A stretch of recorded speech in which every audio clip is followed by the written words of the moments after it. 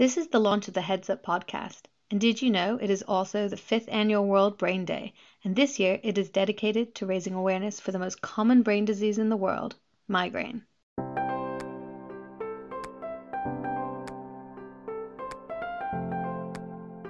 Welcome to the Heads Up podcast, brought to you by the National Migraine Centre, the only UK charity treating migraine and headache.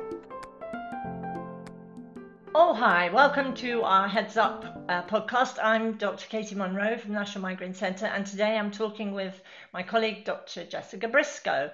We're going to be talking about what is a migraine and the four stages of migraine. Absolutely. So, um, what is a migraine? Essentially, without going into too much detail, we know it's a genetic condition. That means that it runs in families. So, if you know someone in your family that's got migraine, you are very, very likely to suffer with it too. Yeah, that's a double whammy. If both your parents have it, the risk is much higher. Absolutely. Also, uh, some people don't know uh, who in their family had migraine, and that's because in the past it wasn't always diagnosed or labelled, and some people who have migraine uh, actually didn't get it very often. So, does, just because you haven't got a family history doesn't mean that it's not a genetic condition. We know there are 42 genes at least involved in changing your brain so that it is a little bit more sus- uh, a little bit more likely to get a migraine. Yeah, um, and sort of what actually happens, the actual process, we don't fully understand.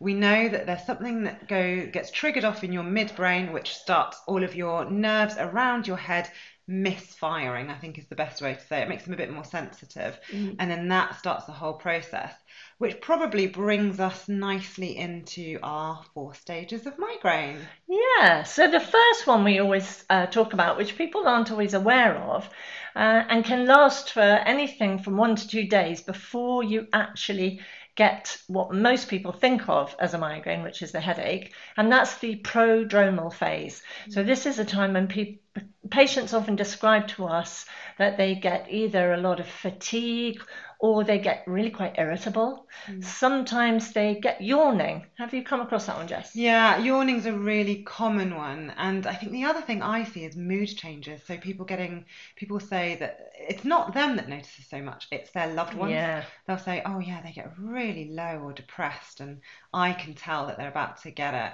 Just uh, yeah, just occasionally get a burst of energy, yeah, don't they? Yeah. And sometimes people get a craving, um, and that's can be for certain foods, and that's where chocolate sometimes got a bad name mm. because people get a craving for chocolate, and it was a sign of them getting a migraine rather than actually uh, being the cause of it.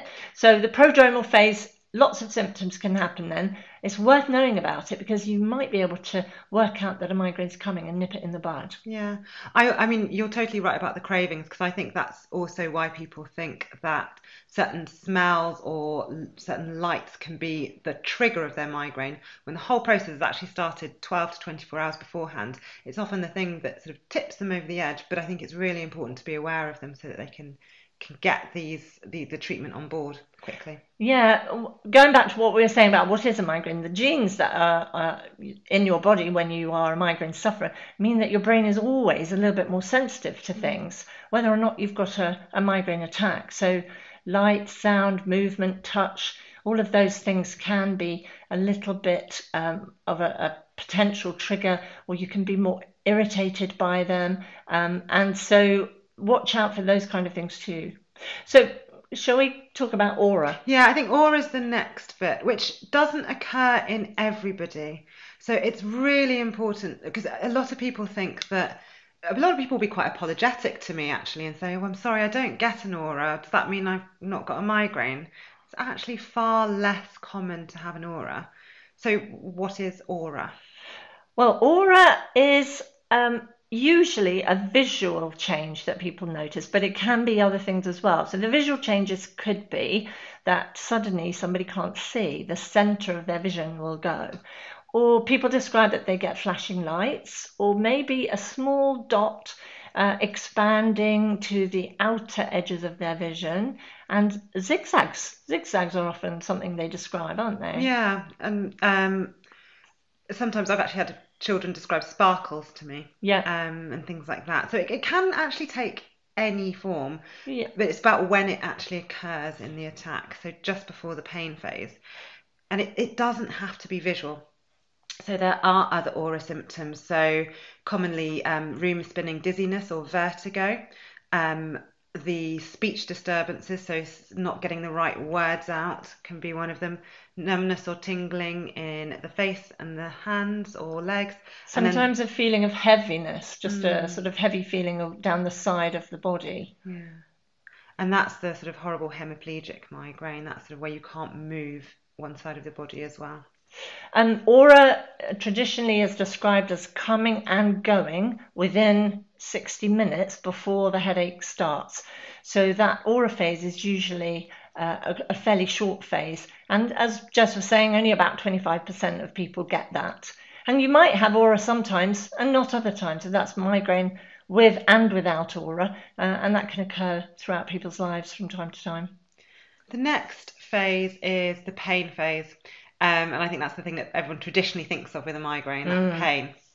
Um, and this isn't always the most troubling bit, but it can be pretty horrible for people. Yeah. Um, and it's not just pain, actually. Um, people can also feel incredibly sick or nauseous.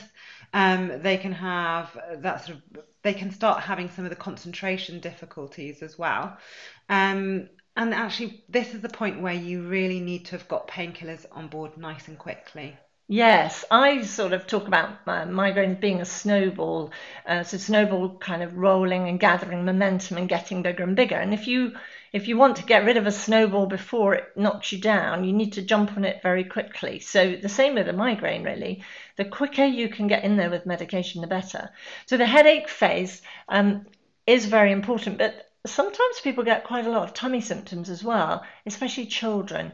Um, we'll do another episode about uh, migraine in children, but just to say, watch out for tummy pains uh, in children. And the vomiting and nausea is often a common thing, and that's caused by the stomach not emptying properly. So, a thing that we call gastric stasis occurs, uh, which also reduces the absorption of the painkillers. So, that uh, headache phase is really quite important to get the medication right. And then the last bit, which a lot of people find incredibly troubling, is the post-ictal phase. So that, that bit at the end of the migraine. And this is where people can be experiencing what is commonly described as a brain fog, where I always think of it a bit like wading through treacle with your thoughts. So everything Mm, Hard just- work to think. yeah, everything slows down. You don't concentrate as well. Everything just takes longer and is more difficult, and that can last for up to five days actually. Uh, yeah, sometimes people describe it as you know the pain's gone, but they still feel as if they've been rolled over by a steamroller, and and that can go on for a long time. So the whole migraine from start to finish can last anything up to five days if you include the prodrome and right through to the end of the postdrome, feeling back to normal. And then trouble is sometimes people are very sensitive and they're starting to get the next one mm. before the first one's really gone away. So this is where we sometimes hear that people are getting really long episodes of what seems like one attack, but actually it's probably two or three attacks rolling into each other. Yeah, and definitely not a cluster migraine. Definitely not, definitely not. We'll talk more about cluster headaches in another podcast, but cluster migraine is a very confusing term we discourage people from using. So, uh, yeah, migraine, four phases, a genetic condition, and unfortunately, very common. We're going over to Charlotte and Swati now. They spoke to some of our patients about their four stages of migraine. Here's what they had to say. Hi, Kara. So, um, I, we're basically talking about the four stages of migraine. So, what are sort of your stages? How do you feel before, during an attack, and then actually afterwards? What are you? What does it feel like for you? Um, usually uh, just before, so um, for maybe the eight hours before I get an attack, I'll start to feel anxious, Mm-hmm. but I won't know why. Yeah. Um, so it's different than other forms of anxiety that I might have. So it's sort of a strange feeling of anxiety. Sometimes I get nausea, Okay. um, and often I'll, I'll wake up in the middle of the night with a headache. So Oh, yes. that- yeah. a lot of people get that, don't they, in the middle of the night? And okay. And what about during it? What's it like? Sort of. During it's um I, you know i get the aura but just beforehand and then during um, i'm fortunate in that i'm a migraineur who tends to be sleepy so usually i can sleep through the attack but um uh, throbbing in the neck. All right. Okay. Um, so my neck is really painful, and usually I'll put an ice pack on it for, to help with that. Um, and then often on my on my the right side of my head mhm, Okay. during an attack, and then after an attack, Yeah. um, I often will feel uh, just like I have a terrible hangover. That's the only thing I can really compare it to. I feel really spaced out, and it's difficult to do. Do you things. find like lights and things bother you Mhm. during? Is it during an attack and also after as well? lights and sounds Yeah, and lights and smells? sounds. Yeah, it's almost just Bit like of everything. Yeah, just oversensitive to just everything. yeah, it's like all your senses are turned up. Yeah, Yeah. yeah. hmm Oh, okay. Well, doesn't sound very nice. But... No, it's very unpleasant, but it's the National Migraine Centre is so wonderful for Yeah. um, you know, giving people so much information and doing this podcast. That's great. Yeah, Yeah. no, that's fantastic. Well, thank you very much for sharing that with us. Sure. Thank you, Charlotte, and thank you, Cara. That was quite insightful. Um, we've been joined by Bernie today, and I will be speaking to her about her four stages of migraine. Hi, Bernie. Thank you for joining us on our podcast. Uh, so today we are talking about the four stages of migraine. Um, the first stage being the prodromal stage. Uh, could you tell us a bit about that? Yeah, um, well, for me, I I don't really know. Um, for maybe the day before, I do seem to be normal, but just when I get the feeling of a little bit of pain in the side of my head, Okay. the the actual migraine seems to come quite quickly after that. Okay. Um, sometimes I feel like my eye is kind of like squinting on one Squinting on one side. side. Um, and I would say the feeling I get before is not really pain, not just a feeling Okay. in my head. Okay. Like it's really hard to describe. yeah, it can um, be. Yeah, so the, if I knew more about what was making it happen before it happened, I think it would You be could be able to control it better. Yeah. The, so the second phase as they talk about is aura phase. Not I know I understand that not everybody gets an aura, but do Mm. you get an aura? No, I don't think so. I think there's been a couple of times where I thought I kind of get a bit of a flash in my eye, but I don't know. So it could just be it's not just the flashing of the so that's flashy lights and things. It Yeah. could be a tingling in your arms. It could be things like that, a bit of vertigo. So these are also part of the aura. Do you get something like that? No, not really. I've had a few Okay. flashes in the eye before, but not really. Okay. um, what about the actual attack phase? So what happens and how does it? Well, I think it comes on quite quickly for me. Um, so it will just be a little bit of pain, then suddenly becomes a lot of pain where I feel like I have to lie down, Okay. um, have the lights off, and then can't really do anything for. and are you sensitive to like Yeah. lights and smells? Yeah, and not so much smells for me. I know lots of people get sensitive to this stuff, mainly just lights, but only when the pain's quite bad. Okay. I feel like I need to be in the dark. And how long does your attack sort of last usually? Um, it really depends. Um, sometimes the medication seems to work pretty well within an hour or so, and I Oh, can Okay. sometimes be kind of back to normal, still feeling a bit tired, but Okay. um, sometimes it seems like it doesn't work, and it can be a day or more. Oh, Um, okay. Yeah, Okay. so it depends really. And coming to the final phase of it, so that's like the recovery phase. So Mm. when's the attack just just gone past? Yeah. How does how much time do you take with recovering from the attack? Yeah, I think it depends how bad the attack has been, because if it's been sometimes when it kind of seems to go with the first dose of medication, I feel like I feel kind of fine afterwards, a bit Okay. tired and a bit spaced out, but mainly okay. But then if it's been a bit of a longer attack, sometimes it feels like for the next day or so a bit washed out and tired and yeah, out of it. Well, thank you so much for sharing your experience with worries. us. Thank you. Thanks.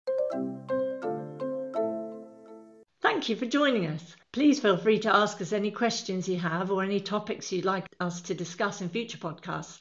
Our email address can be found in the blurb. Please do subscribe to this podcast and share it with your friends and family. In our next episode, we'll be discussing migraine triggers, so tune in then for more information from Heads Up.